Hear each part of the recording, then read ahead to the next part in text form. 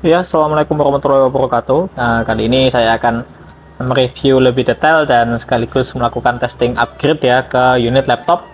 Ini unit laptop yang ke uh, kemarin berhasil saya restorasi, Axio seri MLC yang 12 inci ya. Jadi ini unitnya.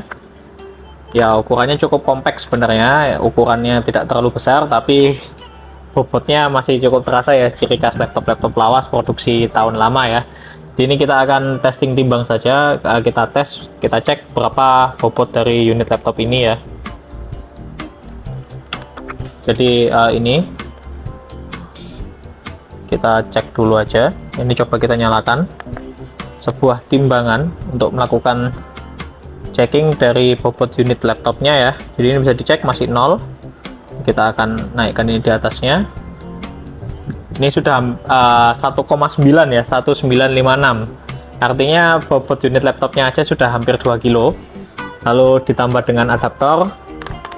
Adaptor yang masih cukup berat. Bobotnya jadi 2,239 artinya 2,4 jadi hampir 2 kilo setengah untuk unit laptopnya ya. Jadi ini kita akan cek dulu apa saja yang bisa diupgrade dari unit laptop ini.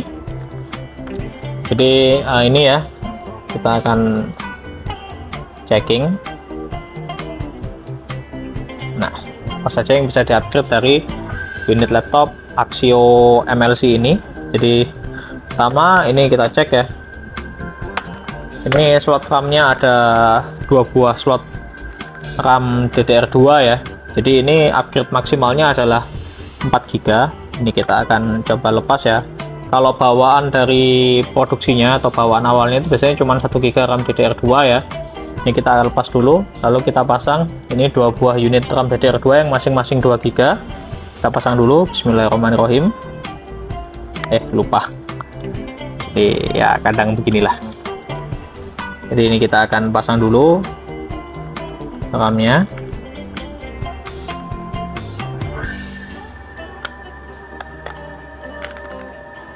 Ini ya eh, kita pasang RAM-nya dua buah yang masing-masing RAM-nya ini kapasitasnya uh, 2 GB jadi ini RAM-nya sudah RAM 4 GB terpasang. Lalu kita akan jadi uh, kemarin saya sempat mengutarakan bahwa ini bisa menggunakan SSD jadi ini adalah sebuah SSD dan ini masih punya DVD drive ya. Ini bisa dicek ini ada sebuah DVD drive yang bisa diganti ke caddy ini DVD drive nya masih pakai yang 12,7 kalau mau pakai dual drive bisa mengganti DVD drive ini dengan caddy ya. Belikan yang ukuran 12,7 ini kita buka dulu tempat harddisknya.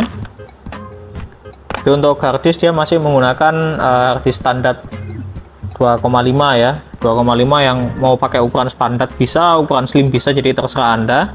Tapi ya itulah. Nih harddisk bawaannya Hitachi 250 GB jadi ini masih aslinya. Kita akan testing dengan sebuah SSD yang sudah ada instalasi OS nya jadi dia harapannya akan langsung masuk booting aja ya. Ini hanya untuk membuktikan bahwa unit ini bisa di bisa dipasang SSD dan bisa di upgrade RAM nya jadi ini kita pasang kembali.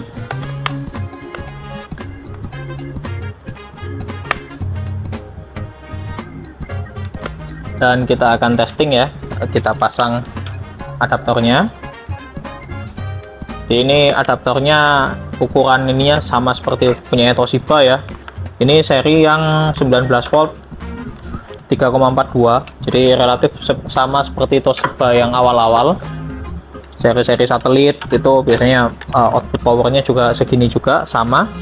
Nah, artinya kalau anda punya unit laptop ini bingung cari charger ori anda bisa belikan charger orinya Toshiba.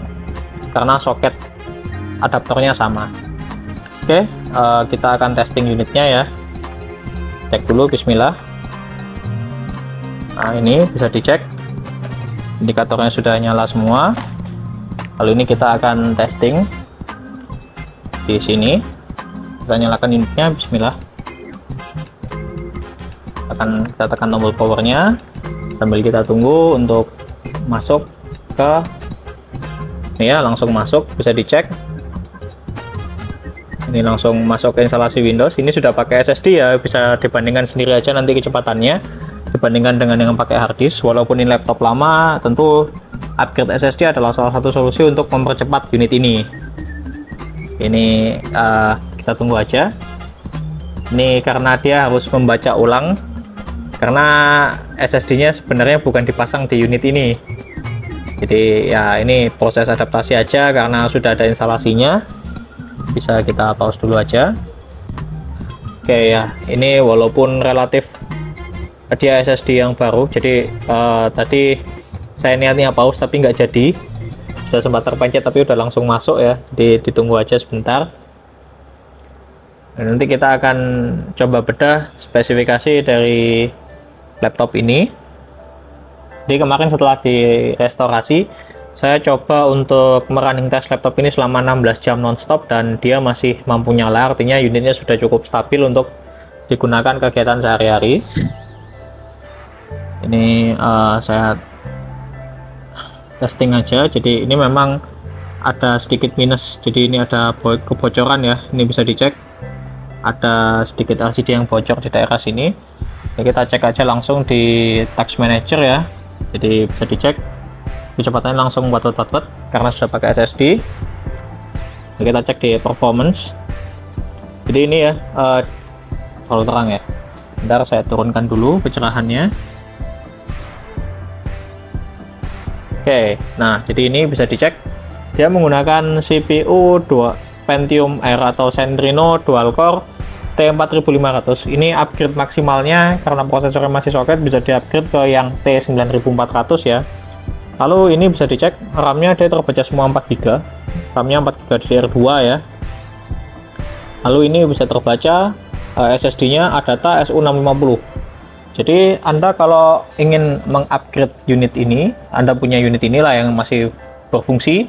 Dan Anda ingin menggunakannya di 2023 ya mungkin sudah tidak bisa digunakan untuk aktivitas berat ya. Tapi Anda masih bisa melakukan upgrade ke unit Axio ini Axio seri MNC ini dengan melakukan uh, upgrade RAM ke kapasitas maksimalnya yaitu 2 kali 4 2 kali 2 GB DDR2 totalnya 4 GB serta Anda upgrade storage-nya ke SSD untuk untuk running utama dan Anda untuk kalau masih butuh extra storage Anda bisa korbankan DVD-nya pasang KD diinstal Nah, dipasang harddisk dengan kapasitas maksimal 2 tera yang mampu disupport oleh unit ini.